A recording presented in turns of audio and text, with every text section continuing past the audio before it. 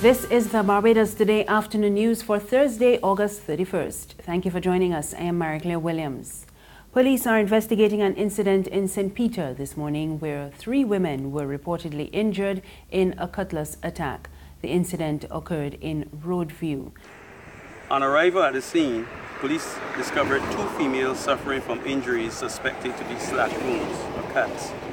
They were taken to QEH by ambulance and we are in the process of conducting investigations and will continue to monitor the progress of the victims. There's a male suspect who reportedly left the scene and is being sought by the police. We are in the process of positively identifying that suspect and we are made to understand that he is known to both of the victims.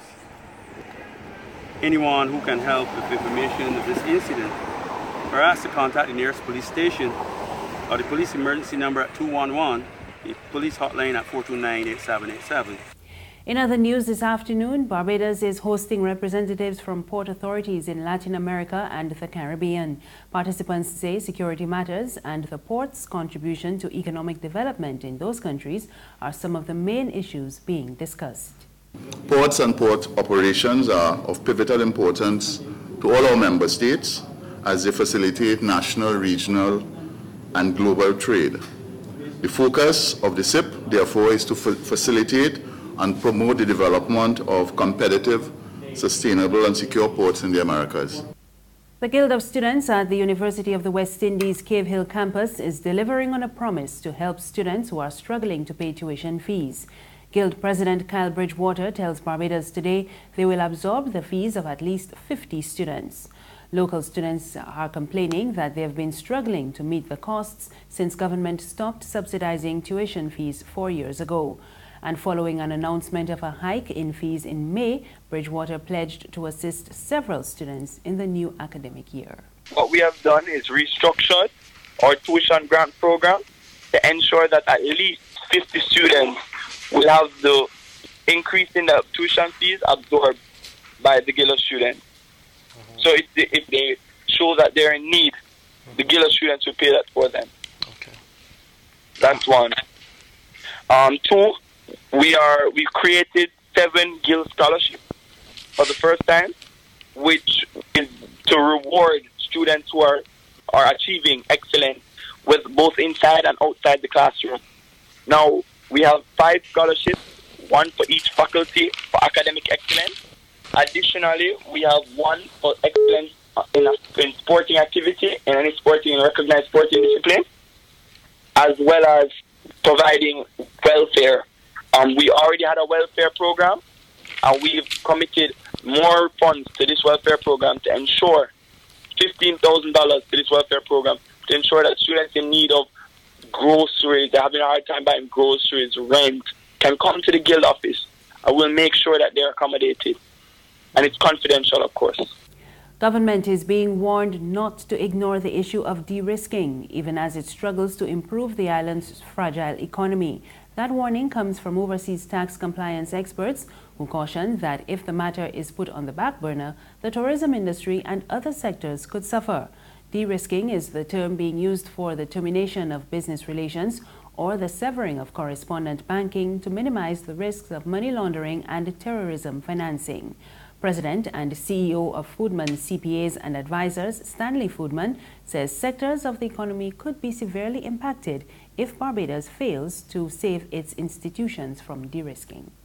With respect to de-risking, the impact on the, on, on the local economy is, for example, if you were not self-sufficient in food supply, you might have trouble bringing in food supplies. If you don't have, if you if you import all of your medicines and medical supplies, that could be impacted. Tourism, in, in and of itself, the numbers of flights could slow down or, or be decreased. It is an issue that can permeate and affect every sector of the of the Barbados economy. And I think and I think it's important to keep that in mind.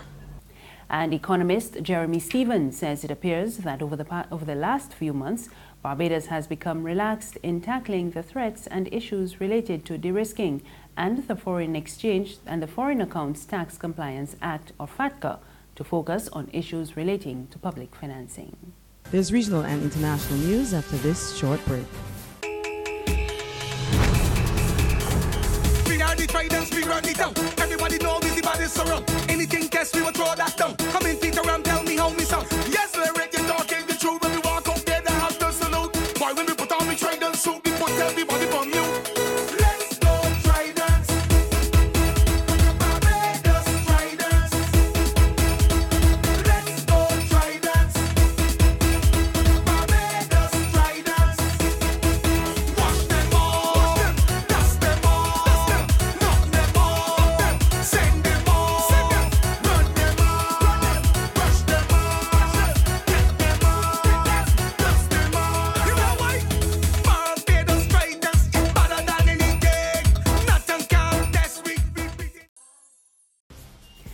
Thank you for staying with us. We're back with news from the region. Weather forecasters are keeping an eye on Hurricane Irma. The storm is still out in the Atlantic and is located about 1,845 miles east of the Leeward Islands. At 11 o'clock this morning, the center of Irma was located near latitude 16.9 degrees north and longitude 33.8 degrees west. Irma is moving toward the west northwest near 10 miles per hour and is expected to continue on this path through early Friday, followed by a generally westward motion on Saturday. The maximum sustained winds have increased to near 100 miles per hour with higher gusts. The Miami based National Hurricane Center says Irma is forecast to develop into an extremely dangerous hurricane over the next several days.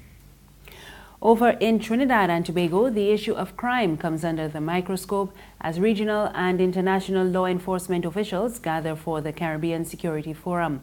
Criminologist Renee Cummings says homicides continue to plague the Twin Island Republic and there is serious need for discussions on the way forward. We get more in this report from TV6 News.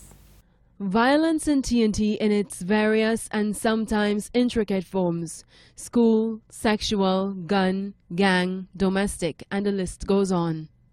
It begs the question, according to Cummings, when did a country as a people become so violent? It may be reversible, but she says several points must line up first, such as public trust and law enforcement. And it's about transparency in law enforcement, and it's about accountability, and it's about integrity and ethics. And we are not seeing um, those types of changes. And why are we not seeing that? Because it's about moral courage and it's about political will. And we are not getting that from the leadership in our country. Cummings says while homicides can be isolated as the main tool for casting dark shadows over the country, there must be a wider perspective and approach relating to overall crime. There is no national policy to reduce violence. So it is very important for us to start to design the kinds of criminal justice policies that are necessary. There is no national policy that speaks to homicide reduction. Cummings says there must be a serious review of the criminal justice system, and former Congressman and Attorney General of California Dan Lungren agrees. He says an unprecedented holistic reform of the criminal justice system in his state was the catalyst for a drastic decrease in crime. On the international scene, at least 21 people were killed this morning when a 117 year old condemned building collapsed in the Indian financial hub of Mumbai. We get the details in this Reuters report. Survivors have been rushed to hospital. According to authorities, nine families lived in the six story building, which sat between narrow streets in a densely populated area where some buildings are nearly 100 years old. This building was a part of a cluster of buildings that were up for redevelopment and local authorities had declared the building dilapidated. Some residents had moved out, but many residents were still staying there who were unsure of the redevelopment process in the future. It's the second collapse in Mumbai in just over a month and comes as the city's recovering from deadly flooding that's killed more than a dozen people this week. Experts say two days of heavy monsoon rain may have weakened the building. That takes us to the end of the news this afternoon. For more, you can visit our website www.barbadostoday.bb. You can also subscribe to our e-paper, email updates, and like us on Facebook. We're on Izumi Media in bus terminals and screenplay at supermarkets and gas stations near you. You can also find us on Mix 96.9 FM. I am Marie Claire Williams. Have a good afternoon.